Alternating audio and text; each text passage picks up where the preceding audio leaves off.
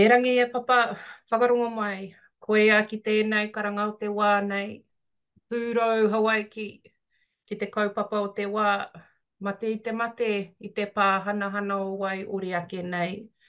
Nau mai, oro mai ki tēnei marae tapu o te ao tūrua nei. Ko te kawa o te ora, ko te kawa o te ora. Ko te kawa o te ora, tēnei katakina. Ko te kawa o te ora, tēnei kahikina. Oi, tapu, tapu mai, koe a ko rangi e tū nei. Tapu, tapu mai, koe a ko papa e takoto nei. Tapu, tapu mai, koe a ko tēnei mana. Mana mai, mana atu. Mauri mai, mauri atu. Tapu mai, tapu atu. Tiaki mai, tiaki atu. Haumi e, hui e, tāiki e. Kei ngā tai o te motu, ngā hau o te rangi i tēnā koutou katoa. Koe nei te reo aroha, te reo mihi e pari, pari atu nei kia koutou kua tae ki te rongo i tēnei kōrero i tēnei wānanga. Kia kōrua, Hayley, kōrua ko Hana, tēnā kōrua. I tākoha mai i wā koutou kura, i whāngai mai i wā koutou mātauranga, uh, hei oranga mō tātou a te iwi Māori nei, tēnei te mihi mata kui kui kia kōrua. Tēnā koutou, kia ora everyone. Welcome to this uh, conversation, this wānanga, uh, this space for us to share and reflect on the incredible paper that has been penned by Hana Burgess and Haylee Koroi, Intergenerational Intimacies, a whakapapa conceptualization of kai. I get the uh, incredible privilege to be in conversation uh, with these two Māori kura uh, about this paper. And if you haven't read it already, where have you been? But also, um, we will put the link to the paper uh, in the chat for you to uh, download, read, digest, uh, and enjoy its fabulousness. Um, we do have a couple of acknowledgements that we do want to make for the paper. Um, obviously, Hana and Haylee are the authors, the minds, the wonderful um, writers and researchers behind the paper, but also you'll note, um, for those of you that have seen it, the beautiful visuals that come with this particular um, piece of work. So he mihi kia Sam Bailey, korua ko Sonia Milford, uh, for their beautiful visual storytelling that accompanies the words.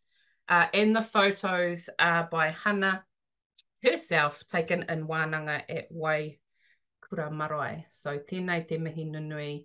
Uh, the paper is more than just words. Uh, it's more than just the visuals. Uh, and I think those of you that have engaged with the paper already will probably share the sentiment um, that it does take you on a journey uh, and it embodies all of the things uh, that it speaks to as well.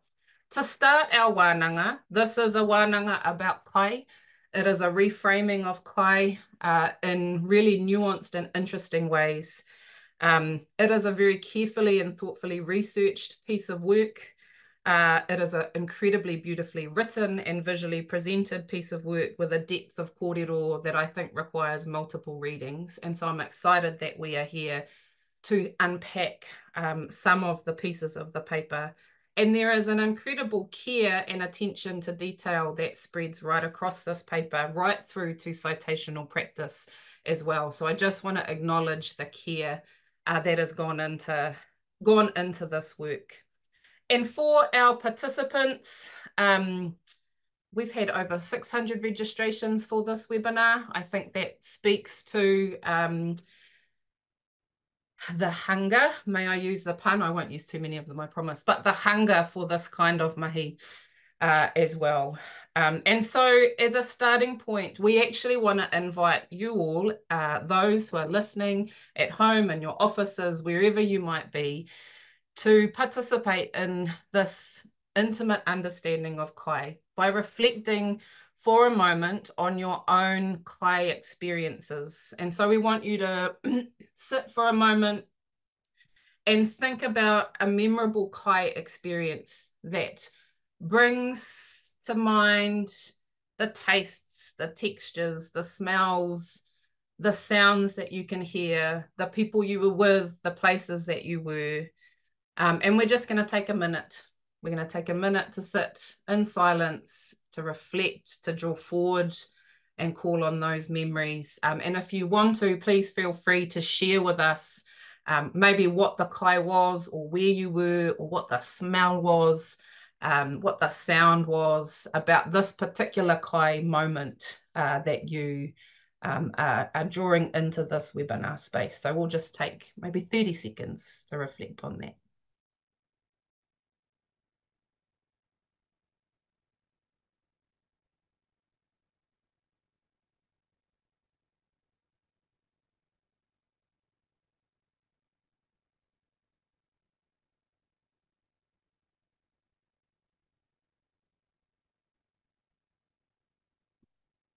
As you are reflecting on your Kai experience. Um, and if you do want to share, please please do share in the chat what that what that moment is for you. Um, we're going to introduce ourselves and share our our little Kai uh, memory. So he uri tēnei no raukawa ki te kaukau rōpa, te tere e mihi ana, uh, ko Naomi Simmons tōku ingoa, um, I descend from the waters of the Waikato and Waiho rivers um, and was raised under the maru of Wharepuhunga Maunga over in the Waikato uh, area. And I um, get to facilitate the conversation. It's a real honour. My Kai moment is from when I was maybe eight years old, watching my grandmother, who I didn't know particularly well at that age, eat fish heads and that was an experience for this little eight year old who had never seen anyone eat fish heads in my entire life. Um, the eyeballs, the sound of her sucking the eyeballs, and the, the smell um, is what comes to mind for me. So I will hand over uh, to Hayley and Hannah to introduce themselves as well. Ngā mihi. Uh, tēnā koe, Naomi, uh, o tira te komato te tonga whānui. Uh, me koutou hoki kua uh, kua whakatata mai nei tēnei ata. Um, ko ai ahau, uh, ko whakarongorua te maunga ko awanui te awa ko ngā toki mata whaorua te waka, ko moko nui arangi te marae ko te ngahe ngahe te hapu, ko tauratu maru te tangata, uh, ko ngā pui ko te raroa ko ngā tikahu hoki o ku iwi. Um, my name is Hayley. Uh, I work for a Māori public health organization called Toi Tangata and have been in public health for the last five or six years. Um, and in particular, uh, my role there is kaiarahi for the Kaupapa Kai Māori Kaiora, which is also how this paper came about. So um, shout out to my colleagues at Toi Tangata also who, um, yeah, are just alongside me doing the work. Um, a Kai memory uh, I think recently I had a boil up cooked for me um, by our beautiful friends Kara and Sandy Lee, and it was eaten over gossip, which I feel is like the right context in which to gossip, like when you're eating. And um, it was funny because I had this moment of like thinking about my dad actually, and really missing my dad because um, whenever we were unwell or like needed comforting, he, he would always show his kind of love through food and through boil up. And so we're kind of joking that like every boil up is like a portal to every other boil up you've ever had. So like um yeah, I just remembered my dad in that moment and thought about all the ways that he nurtures our whānau through through Kai. Yeah. So kia ora. A tēnā tātou, a tēnā koe Naomi, nā i whakatū whera i tō tātou hui, uh, o tira tēnā tātou. Uh, ko roha roha te maunga, ko waiarohia te awa, e rere nei ki te ripo, kei reira a rai te uru rawa ko niniwa ngā kaitiaki o te wahapū o hokianga, ko ngā toki mata whaoroa te waka, ko kokohoi a te whenua, ko te whakarongotai te marae, ko ngāti korokoro, ngāti wharara, te pauka ngā hapu, uh, ko ngā puhi te roroa te ati haunui a paparangi Ngāti Tūwhare toa ngā iwi, uh, ko Burgess tōku ingoa. Um, we're calling in from our whare in the Hokianga, the beautiful Hokianga. Um, I'm really grateful to be here living on my own whenua. Um, we want to take a moment, just as we open this space, to acknowledge the Indigenous peoples around the world resisting imperialism and settler colonialism. Mm. I'm thinking particularly about the Kanak people of what is known as New Caledonia, um, the Indigenous peoples of Palestine, West Papua, Congo, Sudan, um, Indigenous peoples around the world. Um, we're here today recognizing that our struggle in Aotearoa as Māori is bound up in theirs, mm. and so too is our liberation. Um, so as we get to have this conversation in the relative safety of our own home, um, they're never far from our thoughts. Uh, nō reira, tēnā. Um, I'm a kaupapa Māori researcher and teacher at um, Auckland Uni in Te Kupenga Hauora Māori, the Department of Māori Health. Um, I work closely with my tuakana, Donna Cormack. Um, and in my research, I've been thinking and theorizing about how, for our generation, we can be in good relation with our mokopuna and our tupuna um, and vision and envision futures beyond settler colonialism. Um, I do a lot of work in relation with our artist mates, our creative mm. mates, um, with our kuia and kaumatua, and in the mata. Um, and this is really where mm um, our work is anchored. Um, my my kai memory, um, the one that comes to mind is this peach tree that's just outside our kitchen. Um, when we first moved home, we've been we moved home to the Hokianga two years ago. Um, and when we first moved, this peach tree was like fruiting, and it was kind of like, hello. And we were like, okay, shit, okay, we need to deal with those peaches. It was like calling for us. And so we kind of spent our first few weeks, um, they can't, we kind of spent these first few weeks um, processing these peaches and bottling them. Oh, people can't see me. Nah. um. Anyway, I'm like. Do you want to jump into my screen? um, peaches. We're, we're actually next to each other. Um, and so there's this peach tree just outside our whare, and we were kind of called to process these peaches, bottle them, and then we had an abundance of peaches. And so we were sharing peaches with our and I guess thinking about portals as well. Um, they were Golden Queen peaches.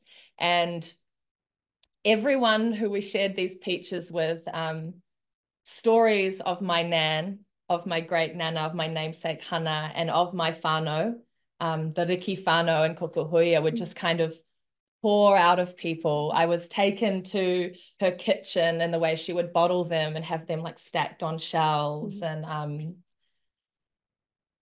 I think those peaches were really the opening to me being back home. And it was just beautiful the way that they were just kind of outside our window, calling on us. Mm-hmm. Um, so yeah, Golden Queen peaches. Um, all right, tātou. Can I see now? Can I move back? oh my God. Kia ora kōrua. I think because we're using one audio across Haylee and Hana's, um, when you talk, Hannah, it, it spotlights Haylee. Okay. Um, so we'll have a tutu around with the technology. Thank you everyone for your patience around the um, the chat and also around getting to see everyone. Very important.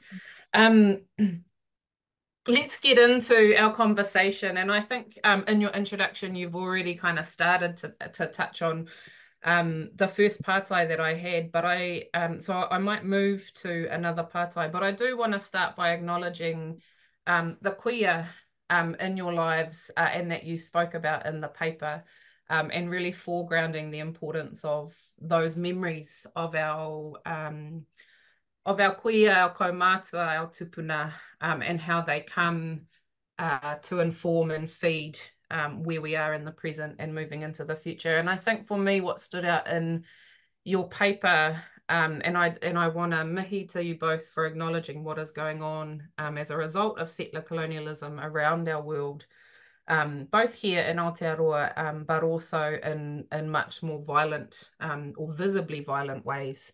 Uh, elsewhere as well, because I think there's a real stark contrast that comes through in your paper around um, the way that settler colonialism is violent and extractive and compartmentalizes uh, and is very one-dimensional versus what you offer in the paper around kai as being incredibly nuanced. Um, our conceptualization, conceptualizations of kai are generative, they're life-giving, um, they're intergenerational and they're collective, and I think that really um, stands true at a very individual level um, for us in thinking about our memories of food, um, but also of kai, sorry, um, but also as as collectives. So I guess um, I'm really interested to understand what motivated you. Um, what was the motivation? How did you land on uh, doing this particular piece of work? Hmm. Um, yeah, I guess for me, as we started to kind of delve into the paper, I was reflecting a lot on my experiences as a young Māori woman, uh, in particular, like between the ages of 16 and 24, and, and how I was starting to realize that um, the world had an, a particular view of what it meant to be a woman that was like worthy of respect and like like basic respect and love. And I think I was like trying to meet this elusive um, bar that had been set for a long time. And I think in the exhaustion of like coupled with like a the exhaustion of of like pursuing this like illusory like standard alongside a lot of the work that I had started to do alongside an organization called Te Korowai Aroha Aotearoa, uh, who work in Indigenous education and training uh, I I realized that actually I it's highly likely that I know my body way better than anyone else knows my body, and that that was actually a responsibility that I had um, to start to to be in better relation with my body. Not only that, to um, to understand that my body is like a portal to generations of women, generations of tupuna and that there's so much wisdom in that.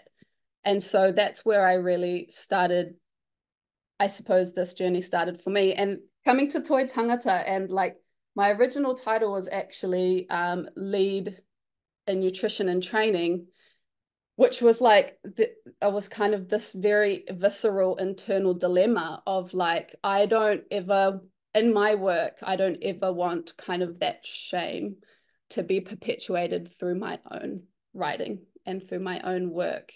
And I don't want another Māori woman to ever feel that through me specifically and the narratives that I kind of put out into the world. And so I think, yeah, I I needed a different way to understand who I was in the world and um, what my body could do and be and the expansive ways that I could exist beyond the physical also. And so that's where this paper for me was um, as much about like reconciling my, um, yeah, with my younger self and yeah, who I continue to, I suppose, become in the world now alongside my community and my whānau.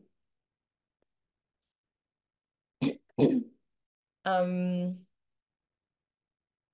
yeah, I think for me, um, alongside kind of Haylee's Haylee's mahi, um, I've been I've been thinking a lot in my work about refusal, and I think that's really where this paper um, came out of was this this desire to like refuse settler colonial um, impositions of the way that we see our bodies, like Haylee spoke to, and the way that we see Kai. And I had been reading um, the work of Eve Tuck and K. Wayne Yang, who talk about refusal as theoretically generative and refusal as more than a no.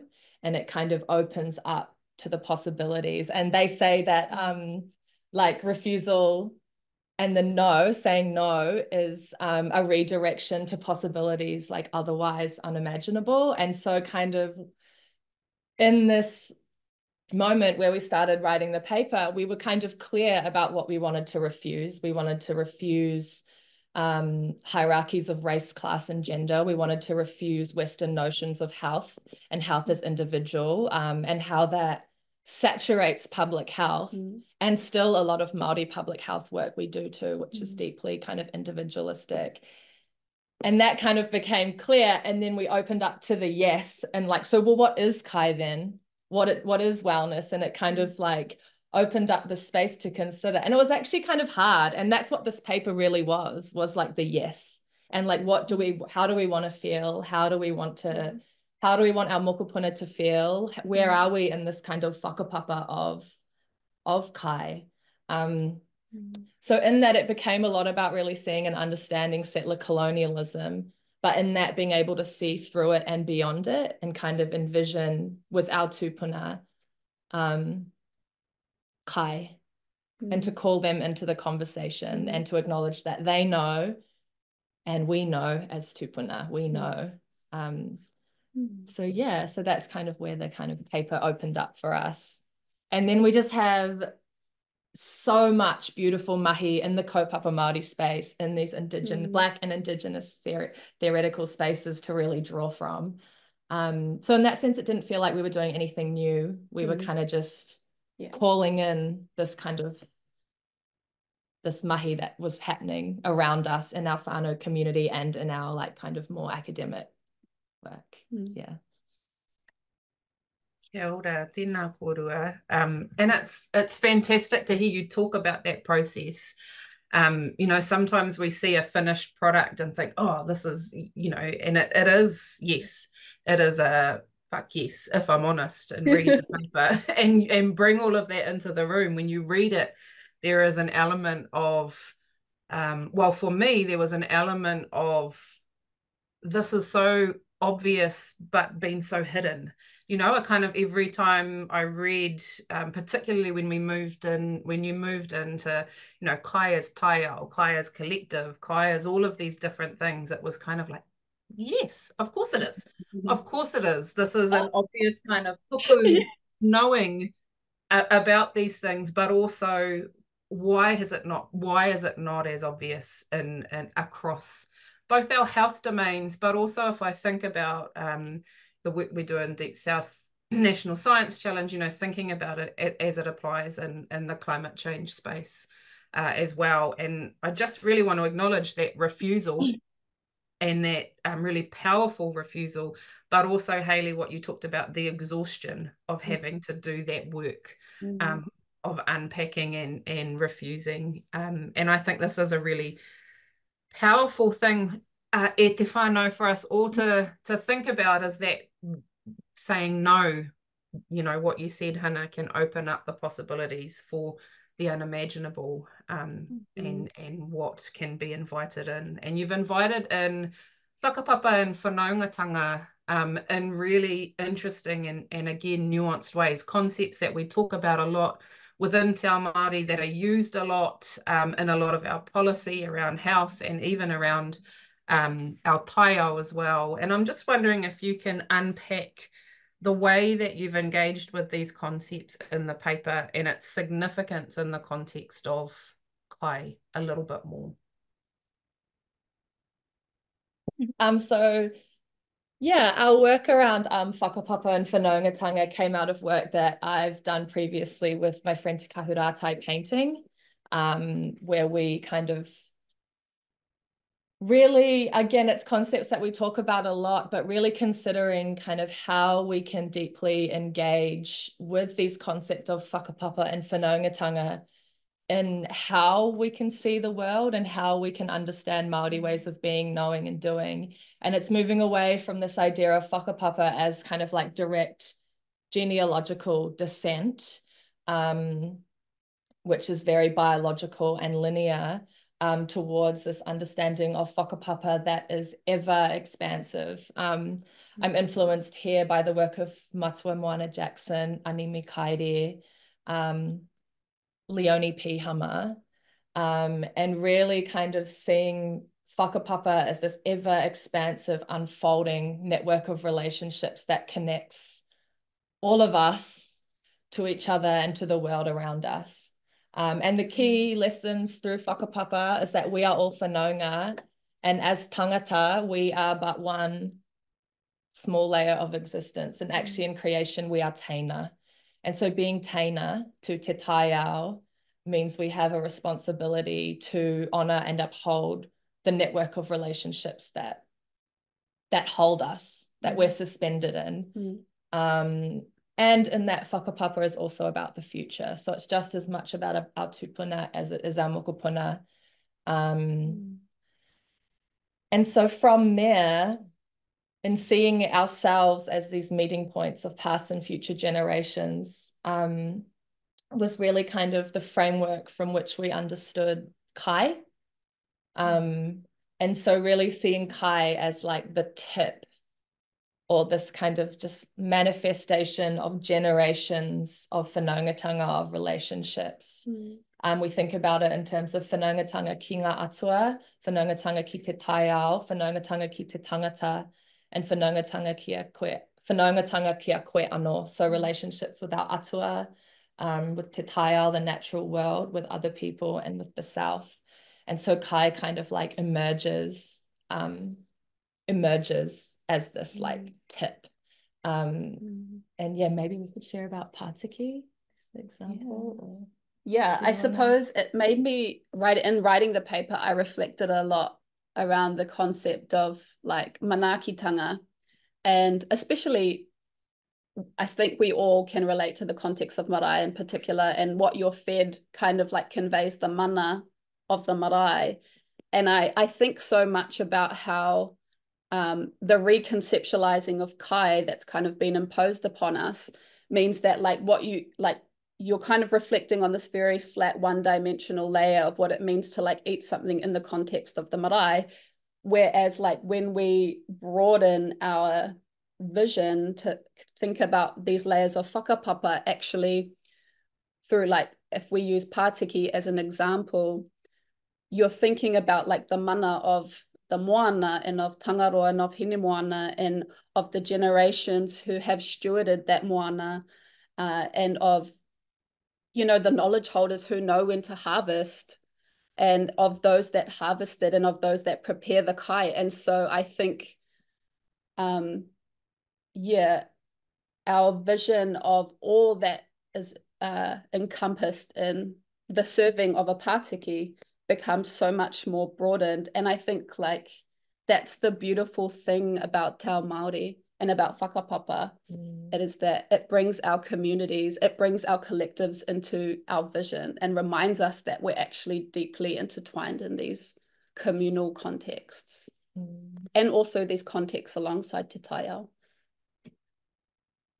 Yeah, kia ora, kia ora kōrua. Um, and I think um, just having scrolled through some of the offerings that um, those who are listening deeply to this kōrero have shared um, really reflects exactly what you're saying around that broadening and that expansiveness that sits in the concepts of whakapapa and whanaungatanga. Um, again, reading your paper and reflecting on my own experiences, they are expansive, they're positive, they're connected, they're connective, um, and they offer in this ability to connect um, a very personal, visceral,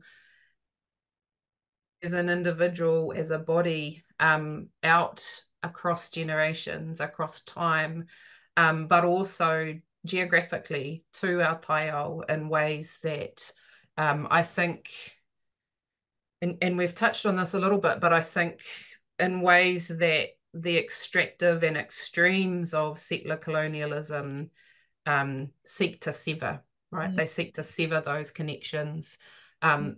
the physical, the spiritual, the emotional, um, the the ingested connections that we have um, with our taiao um, when I read your work, and I know you've drawn on um, a little bit of Kyle Whyte's work as well, but I'm thinking in the context again of um, our hononga to our taiao, um, he talks about uh, in relation to climate change, he talks about these the the we talk a lot about the ecological tipping point and i think in health we talk a lot about you know health crisis and and crises around our well-being. Um, but he moves uh, into an indigenous space and talks about the relationality and the importance of relationality and relational tipping points um, as ways to or as relationality as ways to i guess support our own resilience as individuals and as collectives um, mm. both in relation to um, what's happening in our environment, but also um, what's happening, I guess, in terms of health. So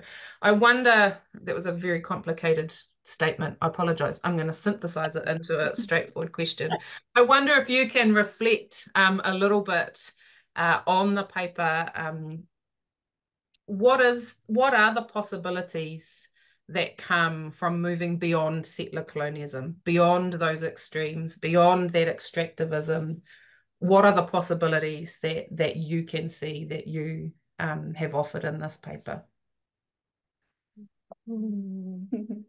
I think like firstly, what I will say is that like the more deeply we can understand settler colonialism, I think the wider our the scope of our imagining can be because we can be sure that settler colonialism and the way that it functions isn't like reaching into our visions of the future. And so the the more deeply we know and understand it, I think the yeah, the scope of what we can imagine really opens up. Mm. Um, but honestly, it's just endless. I mean, like it's truly it can I mean, it can range from things like just eating a, a meal more mindfully to like connecting with your neighbors and mm.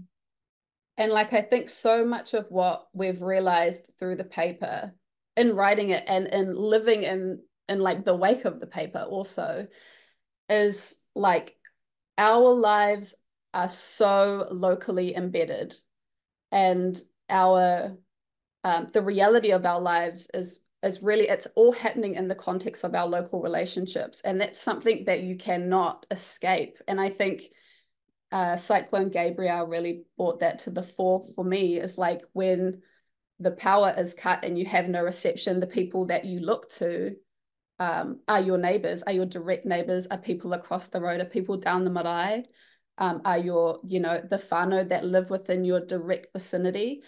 And so I think we're often looking for answers that are far away, that are like less personal and require less, um, I suppose, personal buy-in. But I actually think that the answers are really close and they're really nearby and we can just start right where we are and yeah. The peach tree right the peach tree. Oh my god the burden of having to bottle peaches and feijoas every year. No it's a great burden. And it's, a, no, it's, it's good vibes. No no no no it's like it's a it's a responsibility that we feel because you know we just get to show up and like harvest. And we get to like live again in the wake of the yeah. mahi of our tupuna. Um much of like much of which has actually been disrupted so the peach yeah, tree yeah. is like the fact that the peach tree lives on i think for me even like deepens my sense of responsibility mm. um to like harvest the peaches and to like uh, honor i suppose the work that they did to feed us their mokopuna um, mm. Yeah. Mm. I think for me, like seeing beyond colonialism and like seeing whanaungatanga and really set, centering whanaungatanga um, is around the ways that we can build community and build mm. community through kai. Um, and I really look to the work of our friends Charles and Grace at um, Soil of. Cultures um, and our friend David also known as Map Maker. Um, and they um, they really show us the the power and the um, the intimacies that kai can bring in different contexts. Because I'm aware, you know, we live in the Hokianga, we live on our whenua, um, but this kai can be a portal for those of us who who live anywhere and who are in relation with people from different cultures and different communities. Mm. Um, and I think my realization about growing Kai, big ups to Matt. um, and I think like one re- realization that I had about Kai is that it demands communal effort, like it demands mm. interdependence. And same with being in good relation with Taiao and recognizing that Kai isn't separate from Te Taiao is Te Taiao. Like it's not possible to move into futures where we're well as separate individuals. Like it's not uh um, it's not like a nice little top layer for whanaungatanga. It like has to be really at the core of what we do. Um, and we acknowledge that a lot of the foods that a lot of the kai that we're in relation with today um, will have its whakapapa and its its um it would have been harvested by generations of whānau from other lands and each of those whānau will have their own stories and their own whakapapa and tikanga much of which has been um, damaged and disrupted mm-hmm. and so I think through Kai um, we can begin to see the ways that we are connected and we can learn and share and um, sit at tables and just have a kōrero. I think in so many ways we can build solidarity and community around Kai. So I really want to mihi to our friends and in particular um, migrant communities who I think really show us that and show us the way that Kai can mm. connect us across oceans. Mm, kia ora.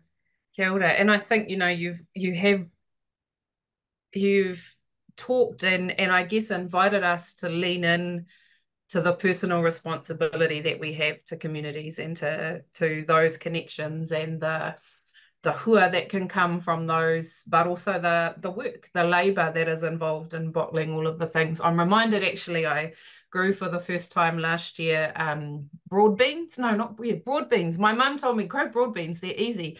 And I grew all these broad beans, so many of them. And me and my daughter sat and we shelled and reshelled because they have two shells, reshelled these broad beans, only to end up with this tiny handful of broad beans. And it kind of, when you were talking there, I thought, yeah, you know, like to to feed our communities, to engage in a way that supports uh, oranga for our people, for our communities, it requires many of us because my little handful of broad beans is not going to feed all of us. Um, you know, it gave us one little, one little, one little kai for our whānau. But I think that, you know, what you've talked about around the responsibility, leaning into that deep responsibility, but also the reciprocity that comes from that, the labour and work that comes with that, and then also the proximity yeah. that that requires of us to our environment. And for me, again, your conceptualizations of kai as taiao, as relational, as community, as collective, as critical analysis,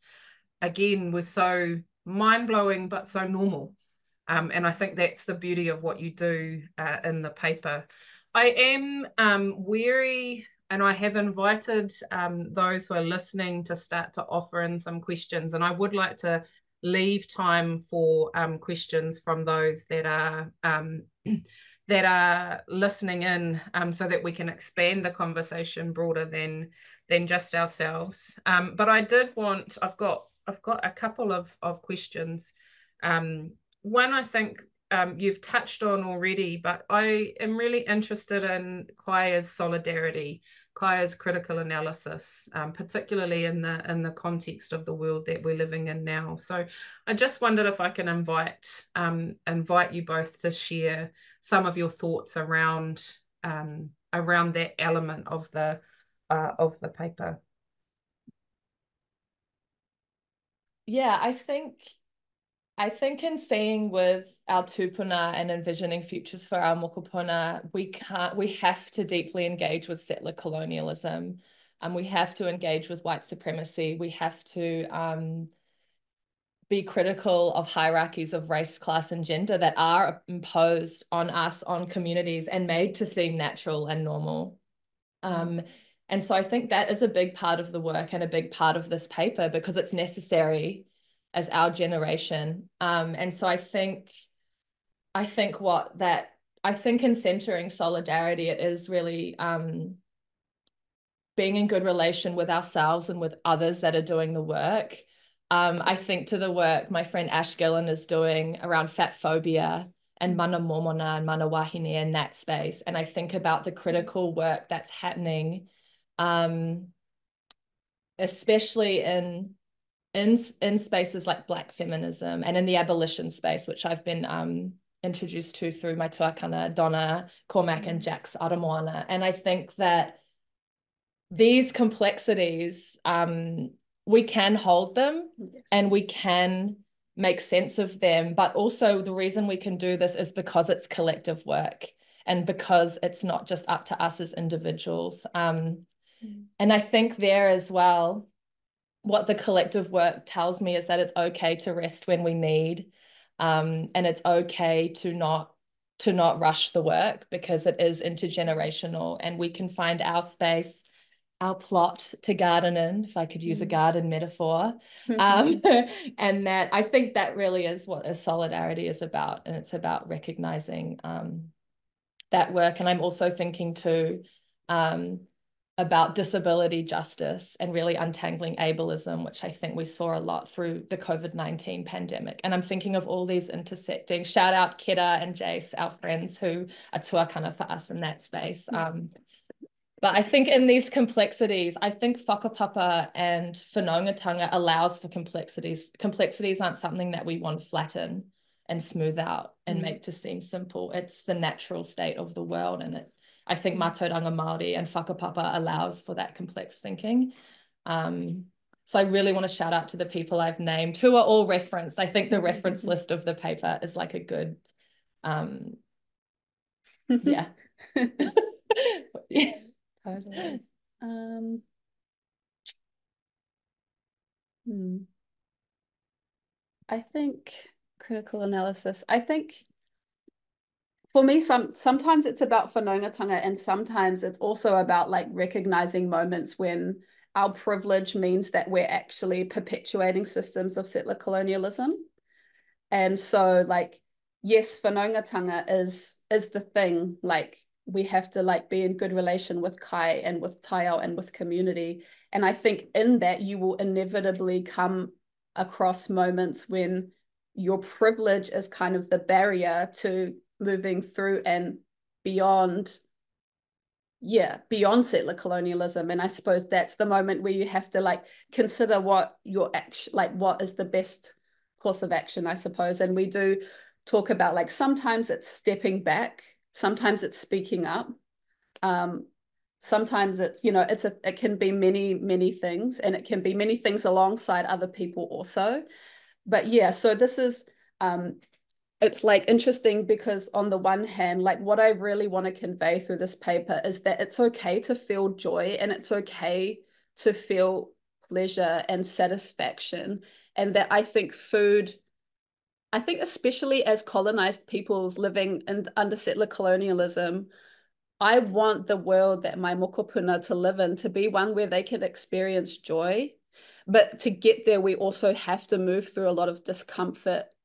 And we have to kind of like step away from these hierarchies of race, class, and gender that make us feel worthy. Because in in in in deriving our worth from them, we also you know the hierarchies work so that someone is at the bottom and so like i think it's going to take a lot of like personal like grieving even and like discomfort to let go of those things mm. that make us feel worthy above above other people and so yeah but the great thing is is that i hope what you will find is that you fall into community and that you fall into like the love of your the wider collective of people that you're with um and so yeah i suppose like I want to shout out to our friends, like our friends that allow that us to do that, to like work through these things with. And I hope that everybody has those spaces where they can really like make sense of the world alongside other people who are doing the same. Mm. Kia ora, tēnā kōrua. Um, I'm going to move now so that we've got a little bit of time. There are a few questions um, that have come from uh, from those that are um, listening and watching in. So um, tēnā koe uh, kira, um, Sherwood O'Regan, he pātai tāna. Um, so she's asked, we've got a question from Kira, are there any unexpected practices or changes you've made as a result of your learning and theorizing on kai and relationality in this space? I think enjoying kai. enjoying it. Like yeah. we love it. It's it's the shit. Mm. and really enjoying it and really appreciating it, have mo- having moments. And I think loving myself more and um yeah, mm. eating more. yeah. I think for me it's been I because we garden at the Kokohuia Kaumatua flats, um, for me, it's been the connection to Kaumatua that's actually been really life changing. um, just because we like see them almost every day. And um, Kai, like the garden, because it was actually them and their wisdom that they offered us this plot to garden in. And so that meant that we were there like almost every day and we would see them every day and we would talk to them and we would help them fix the TV and tech support. We are the official tech support of the of the Kokohuia Kaumātua. But I think like what being along being alongside Kaumatua has taught me is that like the world that we live in now has not always been this way. Not only that, it's like a lot of like supermarkets as an example, like not only has it not always been this way, but it's very recent that things have that, for example, like supermarkets have become the primary means of of, of obtaining food. Mm. And so like I think to me, you need to talk to Kaumatua because they just provide some perspective and help you zoom out. Um, zoom out and understand that things have been different and they will continue to change and that that's mm. where you can make sense of the part that you have to play or can play in continuing to shape what the future will look like. Kia ora, tēnā kōrua. Um, another pātai, uh, Tarapuhi Waio, um, as a whānau who is at high risk of COVID, our ability to connect with others through kai has been constrained after people's desire to take precautions has dropped, and saying that the sharing of kai safely has become an even more intimate and intentional experience. I wonder how disease and kai illuminates the link between kai and relationships for you. Question.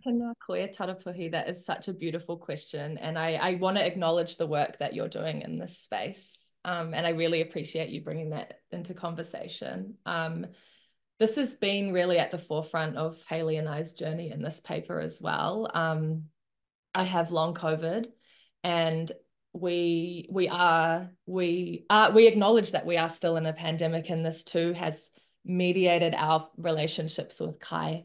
Um, and I think one thing for us is to really sink into Kai as being about te tai ao and really taking time to kind of decenter our human relations and really get to know our more than human whanaunga, really get to know the shore, the beach, the um, the awa, and um, the kai stories that come from that.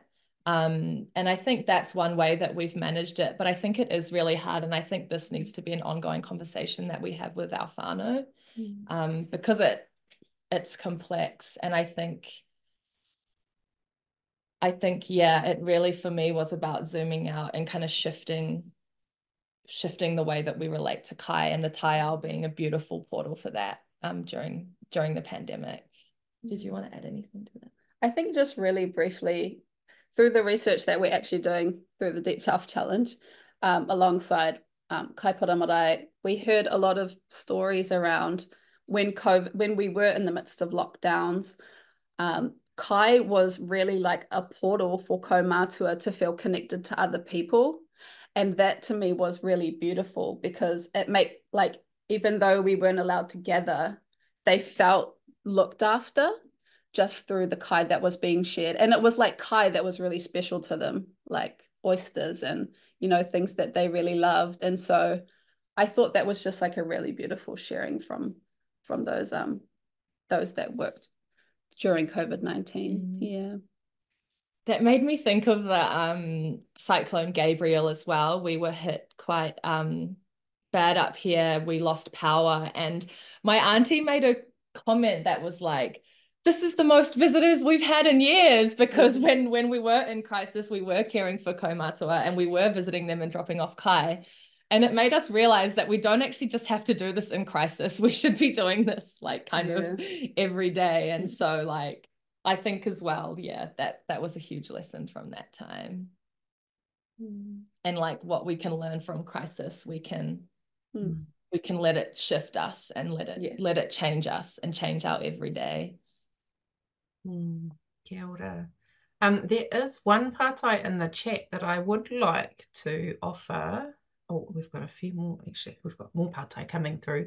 Um, I'm just trying to find it because there's so much chat happening. Good stuff. Um, oh, tēnā koe tūnane kani. Um, he wondering if anyone has researched a whakapapa for waiū. If you've come across anything in your... no, have not come across that. And I, um, yeah, it was quite funny writing this paper. What that's just bringing to mind is like how truly vast this space is.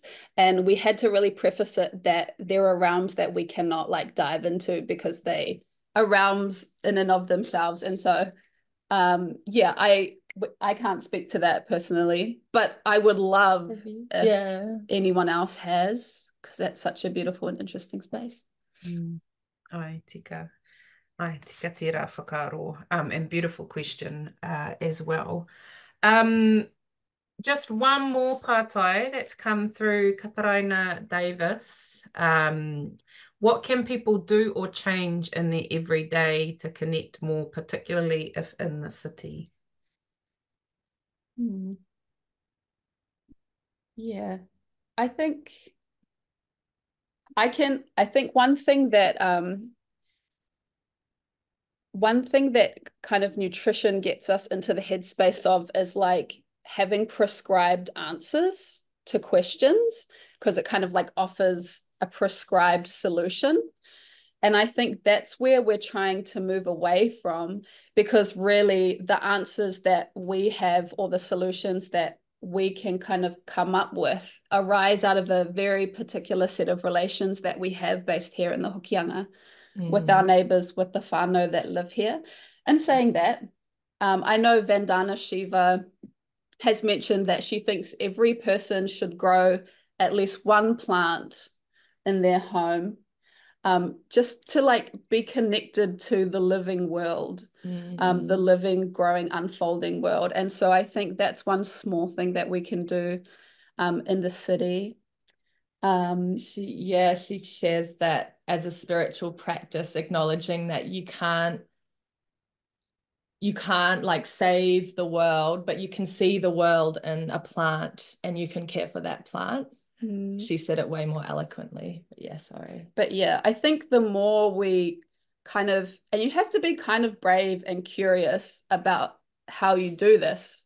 Mm. Um, but yeah, just like reach out to your neighbors, look like, mm. not to like spy on people, but like see who's growing food in your neighborhood and like be curious about that and like, um, you know, just take some kai over to your neighbors if you've yeah, ever got yeah. too much. And I think like caring for people through food, especially when they're unwell, mm. has been a really beautiful thing to do. Just to like offer to, we'll make dinner tonight and we'll drop mm. some off. Mm. So yeah, like the realms of practice are like yeah. ever expanding. And yeah, I think starting mm. where you are um, is the is the first yeah. step really.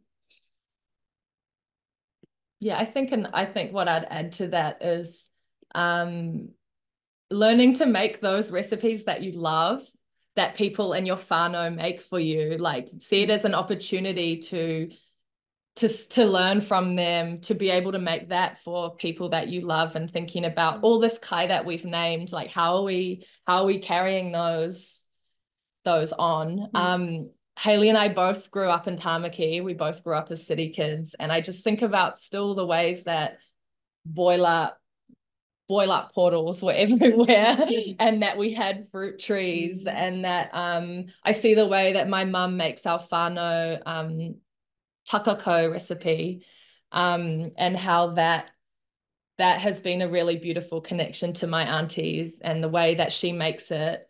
I tried to ask her to teach me, but she it's all vibes. It feels like this do a bit like this. But that's how she was taught by my auntie. and so it's just things like that that I'm like, how these are little ways that we can do wherever we are. Even mm. it's not directly related to Kai, but just being in touch with whānau mm. and talking to them and um yeah. I think just to add one more thing, which I learned from Grace and Charles, is like when you're about to like set a table, like talk about the food like talk about why you cooked this or where the food came from.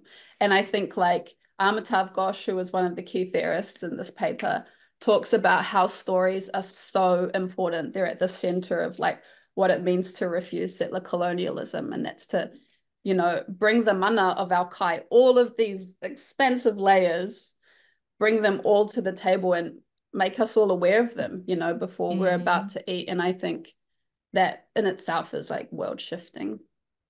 Mm. Yeah, and here I'm really reminded again through whakapapa, it's not about what we eat in terms of like kai as objects, mm. but it's about how we eat. It's mm. about how we think about kai. It's about how we relate to one another.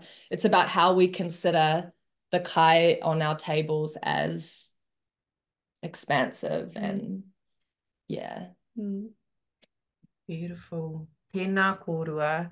We, can you believe it or not, have reached the end of our time. There are a huge number more questions uh, and comments in the chat, which we will look over after the webinar. And tira pia, um, just a, a thought for Haylee and Hana to consider. There may need to be a part two to this conversation, um, given the, the number of questions and, and the pathways um, that I think um, this kōrero can take us.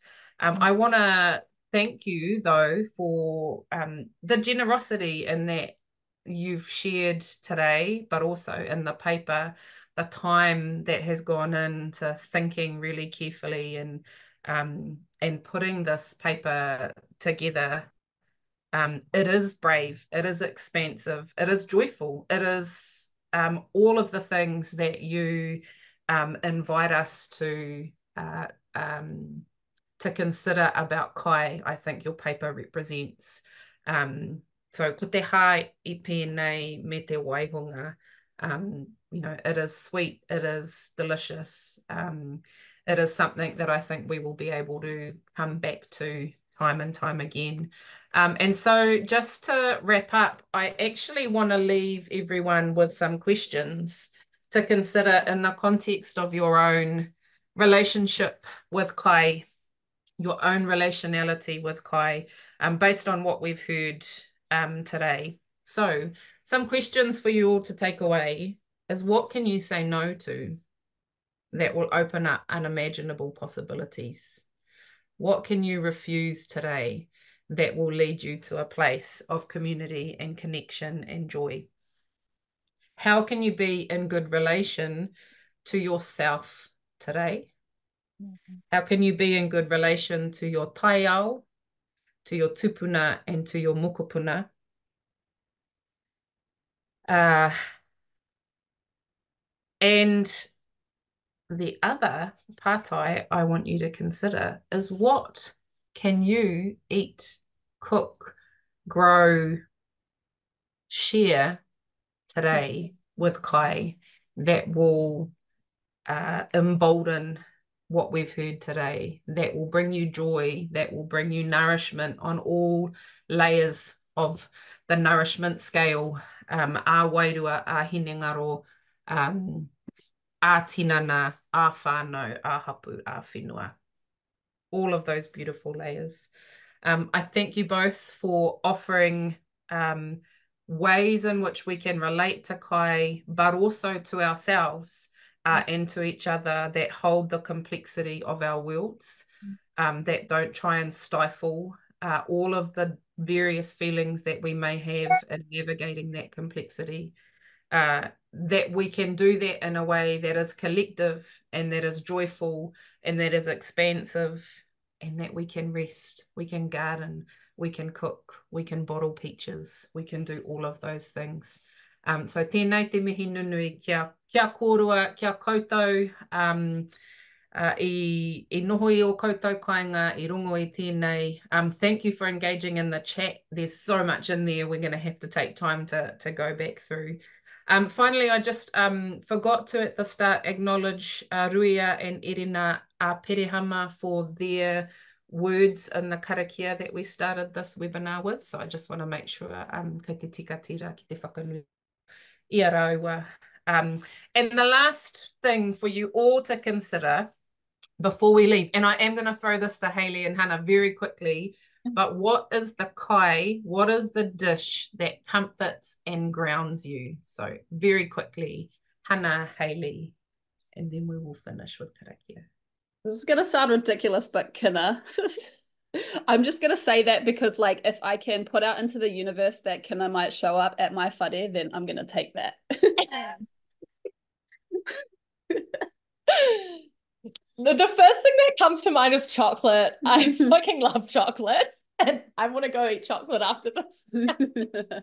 I think well deserved kina and chocolate uh, for both of you. And for me, um, rēwena bread is always the thing that grounds me. And just a really quick note, one of my uncles used to make it and he used to post it out to us, our nieces and nephews. From Tamaki Makaurau. he found a courier who would package up his rēwena and he would send it out to us. So I'm going to um, remember him and his beautiful rēwena making and the fact that he sent it across Koro Mitai. Look, someone Hi, shout out. knows it is Koro Mitai. He used to send us all rewana. So, neira te mihi nunui kia kōrua, um, ka whakakapi i tēnei wānanga hei karakia. Te whakaitanga e, te whakaitanga e. Tēnei te wānanga ka ea. Tēnei te mauri o te wānanga ka ea. Tēnei te mauri o te wānanga ka whakamoia, koa ki runga, koa ki raro, haumi e, hui e, tāki e. Kia ora. Kia ora, tēnā tātou.